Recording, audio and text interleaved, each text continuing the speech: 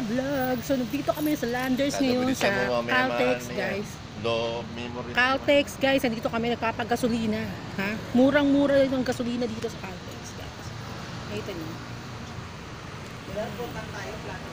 So, silver yung, ah, platinum yung gas na ah, ano sa motor ko. Niya. Ah, Sobrang murang gasolina dito. Ayan, guys. Sige guys, babu, mamaya-maya na lang ulit ha.